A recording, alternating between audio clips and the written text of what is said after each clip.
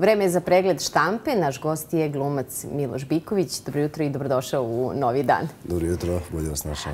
Hajde prvo da jednu lepu vest podelimo sa gledalcima, a to je nominacija za nagradu koju bi trebalo da dobiješ u Americi, odnosno u Los Angelesu. O čemu je reč? Da, da. Pa festival se zove, a i nagrada se zove Los Angeles Italija. To je nagrada koja se dodeljuje od strane italijanske zajednice u Hollywoodu, koje je poprilično jaka. Tu spadaju i veliki italijanski reditelji, ali i glumci poput Robert De Nira i Al Pacina.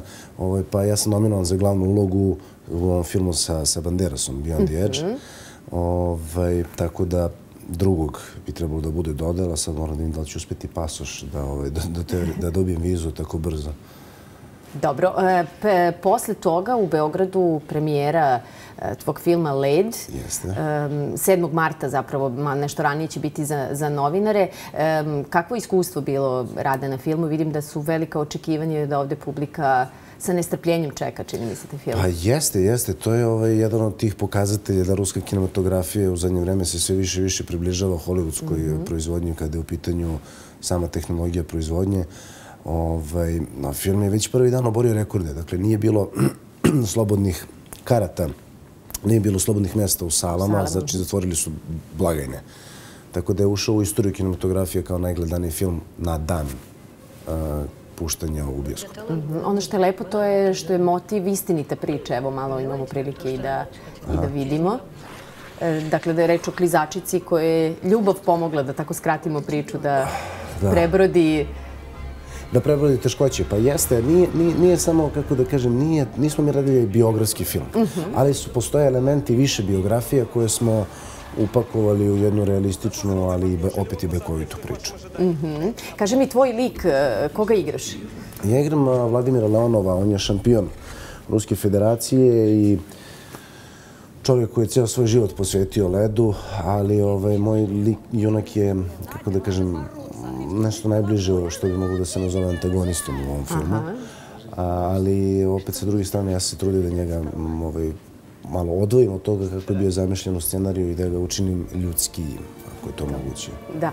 Ono što je uh, lepo, to je uh, i što može da se čuje da je tvoj ruski sve bolji, da si ti na tome radio u stvari čim više i ne sinhronizuju, nekad si to uh, dešavalo. Pa on još uvijek ponekad sinhronizuju, zavisi u kako u kom filmu.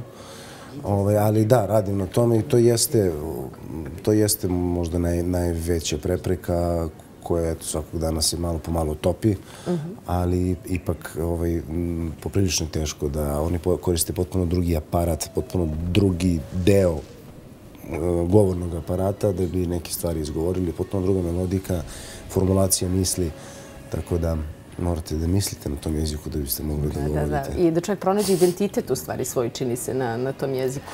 To je tačno. To je tačno. Uh -huh. Kaži mi, uh, glavna čini mi se potvrda za glumca dolazi kada zaigra u pozorištu na nematernjem jeziku, što se tebi desilo u, jel tako, u Moskovskom Jeste, teatru. Da. Moskovski teatar, i, kako ga oni zovu, pošto ima dva mhata, uh Moskovski hudružstveni teatar imeni Čehova, pošto je to ovaj, baš tamo da su Čehovi Stanislavski radili i to je scena Konstantina Stanislavskog. Dakle, za mene to je velika potvrda ja sam ja o tom teatru čitao u istoriji pozorišta na fakultetu, pa sam eto, na, naći se sa takvim ljudima i takvim glumcima koji pamte Staljina. da, da, da. Ovaj, sa tim legendama, ovaj, za mene je stvarno bila velika potvrda, ali imao sam i veliku tremu. -huh. Kaži mi, da li ćeš imati prilike da kada se vratiš u nekoj pauzi odeš na fest, odnosno si bio na otvaranju festa, to je sada? Nisam, nažalost, nekoliko filmova su razmatrali mojih da, da uzmu u, u da, da stave u program, ali na, nažalost ne, zato što je to sad mi se desila i ta, ta priča sa Los Angelesom i, ovaj, i prvog uh, ulazi u bioskope film Beyond the Edge sa Antonio Banderasom koji je u, u, u ruski bioskope, tako da imaću dosta obavezi oko toga. Aha, koliko si imao, je li bilo direktnih scena, kako je izgledao taj jeste, rad? Jeste, jeste. Uh -huh. Pa vrlo, vrlo, ovaj, on je vrlo opušten i relaksiran i veliki profesionalac i u stanju je da izvede rediteljske indikacije bez probe. Dakle, reditelj mu kaže, ideš tu, pa staneš ovde, pogledaš, kažeš, dve trećine monologa, onda se tamo okreneš, čučneš, skočiš i napraviš kolut. I on kaže, dobro, kao pa hoćeš da probamo. Ne, ne, ne, upali kameru. Jel misliš da je iskustvo ili i spoj iskustva i talenta ili... Iskustvo, pre svega, a i sa druge strane, on je u jednom trenutku shvatio da Ne, to je sigurno iskustvo, a onda je još jednom trenutku shvatio da treba da nauči koji objektiv se nalazi na kojoj kameri i da zna šta to tačno znači koje sredstvo glumačka da koristi za taj kadar konkretno. Meni je potrebno da vidim kadar, kad mi kaže, ne znam, dosta si širok i to da znam i objasne. A on zna, kao šta imaš na kameri, ne znam, 75, aha, taj objektiv, to znači da sigurno i u ovom tehničkom delu ekipe je zadovoljstvo da radi sa njim. Eto, voljela bih da prokomentarišemo nešto i od e, naslova. E, Kurir, kaže, na festu je dobila još jednu ulogu, a to je debi Nataše Vojnović, e, je tako čuvene naše manekin, bila je elitovo lice godine davno i sada je u Americi. I sada na ovom festu ima nekih dakle, debitanata i ljudi koji se prvi put pojavljuju na filmu i možda i pokazatelj da E, ne moraju samo glumci igrati, da dakle, imaju ljudi koji pokažu talent, a nisu iz e, glumačke branše. Jako dobar ovaj pokazatelj je moja drugarica Aleksandra Lus, koja sad mhm. igra glavnu ulogu kod Luka Besona, koja ja predviđam karijeru Mila Jovović. Ona isto otkriće Luka Besona, da, e, tako da. I isto ovaj, ona je bila... To je na zapadu, na zapadu mnogo, kako da kažem, u tom smislu, opuštenije i lakše, jer oni vrlo dobro umiju da koriste i da pretvaraju industriju, da pretvaraju mašineriju za zarađivanje novca ovaj, ako je neko talentovan. Tako da vi ako ste talentovani, a bavite se kriketom, oni će da vrlo brzo da vas naprave zvezdu glumačku, jer će tim ljudi da radi. Ovaj, mhm. E, ono što je interesantno, to je ovaj, selekcija e, srpski film i filmovi od kojih se tako, mnogo očekuje. Jedan od njih je i film Lazara Bodrože, to je ovaj Ederlezi Rising. Hoćeš imati prilike da pogledaš, ako ne na festu, onda... Hoću. To je radio moj prijatelj Aleksandar Protić. Ovaj, veoma me interesuje šta je napravio. To je jedna filozofska, naučna fantastika. Ovaj, novi Adam i Eva. Ima vrlo interesantan pristup. Tako da, a sa druge strane, ovaj, ja taj film ovaj, imam među nama link za taj film, da, da ga pogledam, ovaj, zaključan link, zato što pokušavam i da ga, da ga u Rusiji ovaj, da nađem način da izađe na rusko tržište. Uh e, Kaže mi što misliš koliko je pojavljivanje e, e stoje koje e, dakle, glumica u filmovima za odrasle, koliko i to negde privlači, privlači pažnju ili je o, ipak i neki marketnički trik, ali reditelj kaže da je bila odličan, odličan izbor za, za tu ulogu. Pa ja mislim da tu naravno postoji, ne znam kakva je glumica i ne znam kakva je uloga, pa to ne mogu da komentarišem, mogu da komentarišem samo marketinški aspekt te priče. Mislim da je marketinški aspekt u tom smislu dobro iskorišćen zato što to ljude zainteresuje. Znate, i kada, mislim, to je strah od smrti, seksualni nagon, to su u psihologiji veoma, da kažem, jaki porivi, i sfere kojima se marketing ovaj, i I bavi i manipuliše, da. Spomenuli smo, evo i uloge, nedavno je ovdje bio Karen Šahnazarovi, bit će ponovo i dobit će i nagradu na festu. Imao si prilike da budeš u najužem izboru za ulogu Vronskog u njegovom filmu Dnevnik Vronskog i da je zapravo nijansa presudila da to bude ovaj drugi glumac. Kako ti kako iskustvo nosiš sa tog castinga i uopšte kako izgledaju audicije u u Rusiji? Pa evo ja sam tri puta leteo na Mosfilm e, zbog te uloge. E, oni vam kako plate vam avion, plate vam hotel, vi dođete tamo, onda ceo dan probate se šminku, probate scene i tako. I onda to snimaju na Mosfilmu, oni naprave scenografiju i tako dalje. Onda snimate scenu koja bi kod nas mogla vrlo lako da uđe u program neke televizije kao TV drama. I onda tako imate oko vas ekipu ljudi od 15-20 ljudi koji rade na, na, na tome i vrlo je to je na jednom veoma ozbiljnom nivou. Mhm. Pošto je to veliko tržište, onda vi tamo imate i casting direktore i agente koji kod nas ne postoje, na primjer kod nas, mi smo mala, bare mi se znamo, kao, kakav je onaj, ako nekog ne znaš, baš nisi radio sa njim, onda kakav je onaj, zna nekog koga zna. dobar. Uglavnom je po ličnoj preporuci, Pa, da. nema prostora, mislim, toliko smo svi tu da je glupo da ja sad preko nekog posrednika ovaj, govorim o sebi ili da reditelj ili producent traži nekog. Da. Kako sada tvoja karijera? Da li s- nekako si se potpuno okrenuo Rusiji? Hoće biti nešto za tebe i ovde? Znam da su te svi očekivali možda i u Senkama nad Balkanom i, i zbog saradnje sa Bjelogrlićem.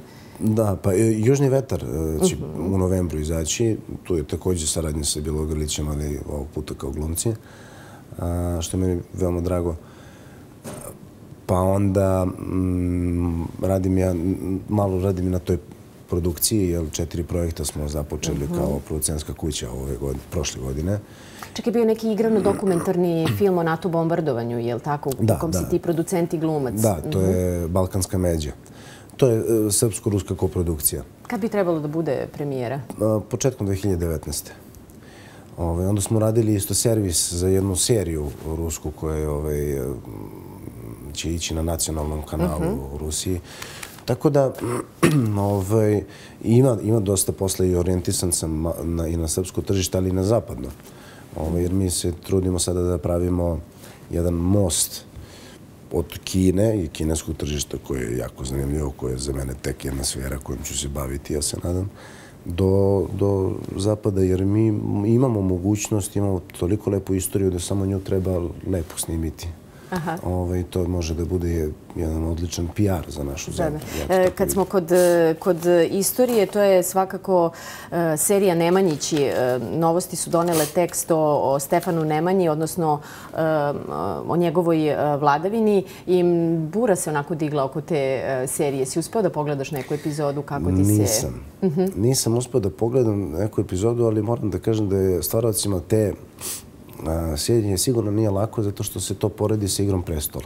Znate, kada neko postavi standard, kao što je to uradio HBO, i onda teško možete da teško možete da ispunite očekivanja publike. Ali eto imam jednu vest za vas, ono što radimo, imamo partnere iz Hollywooda, MB Production Group i iz Rusije, Kino Dance produkcija. Ovaj, pa smo započeli pregovore oko otvaranja studija za grafičku obradu slike u Beogradu.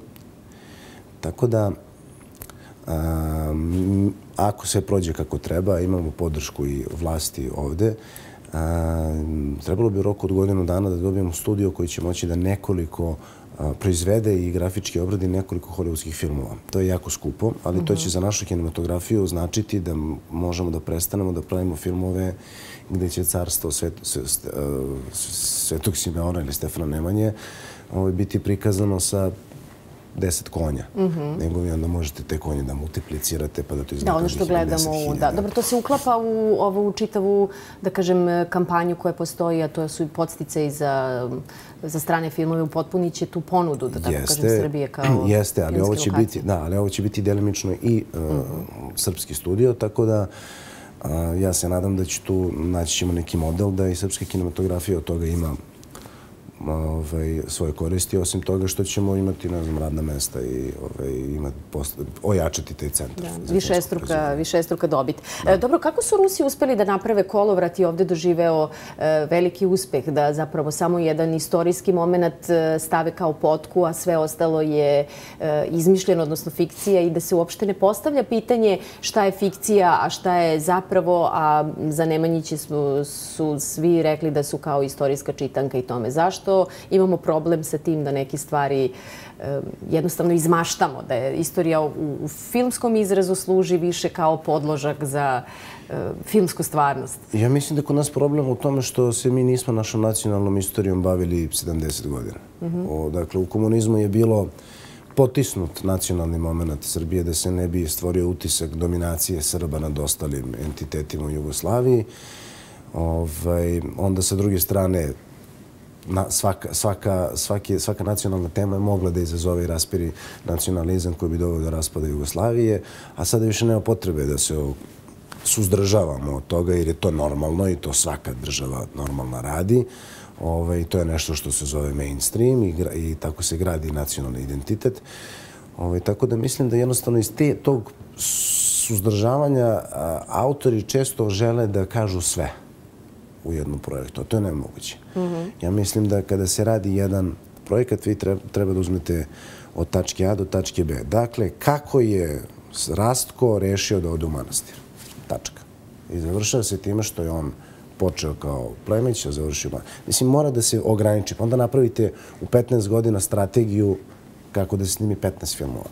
Mm-hmm. Teško u jednom projektu da će da. staviti sve. E, volela bih da isto prokomentarišemo, to je jedan od dobitnika, odnosno prvi dobitnik nagrade e, na ovogodišnjem festu, mađarski reditelj Ištvan Sabo, koji kaže da je budućnost e, filma ugrožena, ali će uvek biti publike. Kako je mišljenje tvoje o tome? I Kusturica je rekao da će neposredno pred, pred festivalu u Kustendorfu da misli da će se film svesti kao opera, da će imati male, male sale sale, a da će se zapravo sve uzimati sa interneta? Pa dobro, film to neće ovaj, mnogo promeniti. Ako je mislio da će se film uzimati sa interneta, mhm. možda će uticati na bioskope i distributere. Ali ja mislim da je tu... U sferi kada se skidaju sa interneta, kada to više se ne ide u bioskop u tom kontekstu. Ne, regulisat će se prosto na internetu. Mhm. Dakle, internet će postati stroži, ovaj, a film ima budućnost kao i pozorište. Ja ne mislim da će ovaj, odumreti zato što kao što Andrić, što je rekao u svom govoru za Nobelovu nagradu, čovječanstvo ima potrebu da stalno priča sebi priču. Na taj način sam sa sobom razgovara. I potreba nam je taj sadržaj. Tako da ne verujem da, će, da ćemo ovaj, ova, ovaj, ja ne znam da smijem da kažem, idiotizam sa, sa reality programima da pobedi. To je samo jedna privremena bolest. Dobro, televizijska, da, da, nemam sreće. E, kaži mi, da li postoji neki reditelj s kojim bi voleo da radiš? Evo, spomenuli smo Ištvana Saba, ne mislim konkretno na njega, spomenuli smo Išah Nazarova. Da li imaš možda želju da sa nekim... Recimo, Zjagincev je, je interesantan. On se smatra u Rusiji disidentom, ali vrhunski umetnik. Malo je bezizlazan. Imali smo prilike da, da, da, da, gledamo. Malo su depresivni, mhm. ovaj, ali Zeginci interesantan, onda volio bih, vol, sa Kristoferom Nolanom bih volio da radim, ali ajde to, ne, ne znam da li ima smisla govoriti. Zašto da ne, ako se u Rusiji dešava nešto... Pa ko zna, da, ko da, zna. Da. E, sad ćemo još i da ovaj, prokomentarišemo. E, naravno, bio si na ovoj e, ceremoniji e, prilikom dolaska E, Sergeja Lavrova i današnji naslov u novostima je hram u punom sjaju do, e, u sjaju već e, do godine i manifestacija koja je organizovana i na, na ruskom jeziku. Čini se da si nekako važan deo kada, ima, kada dolaze ruske delegacije kao nekakav... Pa, najlogičniji sam izbor zato što sam neko ko ima karijeru i ovdje i tamo. Tako da... tako da A i dobro ovaj, govoriš ruski, pa ga. Pa da, da. Ovaj, taj je, to je, s obzirom da je to poklon Ruske mhm. federacije, ovaj, i taj program je bio na ruskom jer je organizovan na strane Ruskog doma, onda su mene zvali kao glomce koji i ovdje i tamo ima karijeru i govori ruski da ovaj, učestvujem u tom programu. Mhm. Tako da i to je mene, za mene bila velika čast. Ovaj, htio sam da objavim na društvenim mrežama sliku sa patrijarhom, predsjednikom i Lavrovim, da kažem, ekipa iz kraja, ali bi bilo baš malo, malo bi bilo... Da, da, da, evo kako bi to ovaj, protumačili. Da, da neprimjereno, ali ovaj, čast mi je bila ovaj, zaista i, i da, da budem deo, deo toga, jer je, smatram da je to deo istorije. Mm. I tako, ne znam da ste videli kupolu, stvarno izgleda predivno. E, nisam, nisam lično, da, moram da... Kada se završi mm -hmm. cijel to će izgledati stvarno, mislim da će to biti najlepši pravoslavni hram. Da. E, kaže mi, tvoje obaveze u Moskvi, osim e, snimanja i nešto, kako provodiš? E, da li si se sad nekako taj životni prostor osvojio u Moskvi kao, potpuno kao svoj? Pa, teško je to reći da za, za Moskvu, jer ona je toliko velika da e, meni smeta malo kada idete ulicom, pa sad imate 14 traka i onda ne možete nikog da sretnete. Čak i ako idete istom ulicom, to, taj čovjek se nalazi 50 metara od vas. O, tako da, to jeste jedan grad koji je pun sadržaj, sadržaj veoma je mm, intenzivan, ima mnogo, daje vam mnogo prilika, ali vi shvatite da ovo u Beogradu što se dešava, da to ne da nisu gužve za jednu svjetsku metropolu, na primjer kao guže. Svaki dan je gledam ono sedam automobila na semaforu. Dobro, kad Moskva ima stanovnika koliko cijela Srbija, da, mm, ovaj, i više. Kao tri Srbije. Da, tri Srbije, da. Tako da, ovaj, ipak, Beograd je moj grad i neko ja volim tu energiju koju Beograd ima a zaista ima jedinstvenu energiju i zaista kogod je došao od Rusa ili od um, mojih prijatelja iz drugih zemalja, stvarno nije ostao ravnodušan. Mm -hmm. Kaži mi, e, kada je reč o pravljanju karijere e, tvoje uopšte, neka poruka ljudima koji bi se okušali, evo videli smo i Milana Marića u ulozi e, Dovlatova koji isto -hmm. dobio sjajne, sjajne kritike. Osim jezika koji je očigledna barijera, ali ipak savladiva. Jeste, savladiva je barijera zato što kada se malo u to, kako kažu oni, pogruzite, kada se malo ovaj, zaronite u taj jezik, shvatite da dobar deo vokabulara vi već imate u glavi.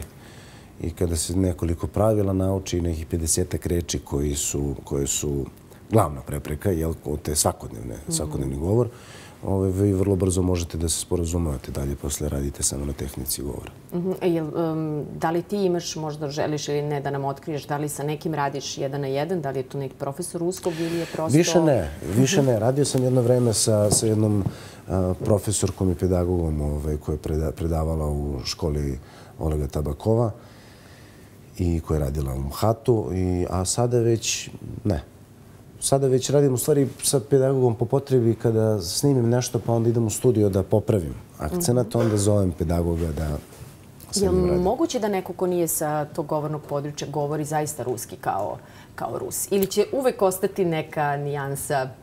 Pa ako, imate, ako to uradite kada imate 9-10 godina pa odete tamo mm i naučite taj jezik, onda je to moguće. Sa 25 kad odete, već je to malo, malo mm teže. Ne znam, vidjet ću, dajem sebi fora još jedno 3-4 godina. A je li bitno u krajnjoj liniji za film kada, kada glumiš sada u, ovoj, u ovakvom svetu kakav je, da li si ti zaista Rus ili si e, neki Miloš Biković potpuno... Pa nije, zato što oni imaju recimo Ingeborgu Daubkonajte koja je igrala kod Mihalkova u Arne mm. suncu, koja je sa svojim akcentom igra. I svi znaju da je to Ingeborga i ona je dobra glumica. E sad ja kada igram neke uloge kao što su, ne znam, šampion u klizanju ili baron e, pedigrirani, ne znam, stara ruska porodica, teško da mogu da imam akcenat zato što je to baš esencija ruske i ruskog identiteta. Ali ovaj, pretpostavljam da će vrlo uskoro doći to vreme kada će to biti sve jedno, jer ljudi znaju da ja nisam Rus. da. Ili ako te porede sa Plušenkom, na primjer. Da. da. E, hvala ti puno na e, gostovanju. Želim ti da odeš pre svega po nagradu u Ameriku, a potom se vidimo i na premijeri. Gost prelistavanja bio glumac Miloš Biković.